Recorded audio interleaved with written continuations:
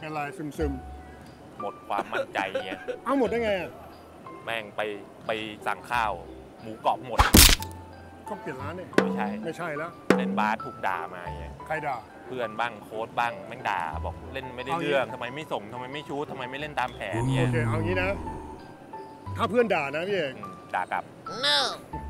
ไม่ใช่ดิยังไง ถ้าเพื่อนด่าให้มองว่านั่นน่ะคืออากาศเสียๆไม่สูดเข้ามา อย่างนี้ต้องใส่ไม่แมรับสนะเล่นบาสไม่รับเลย โอเค ส่วนถ้าโค้ดด่า หรือพ่นอะไรที่มันไม่ดีออกมา เราเลือกสิ่งที่ดีเก็บไว้ใช้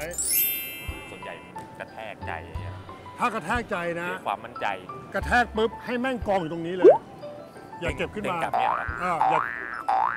พี่เด้งดีนะปล่อยมันกองไว้ที่พื้นเลย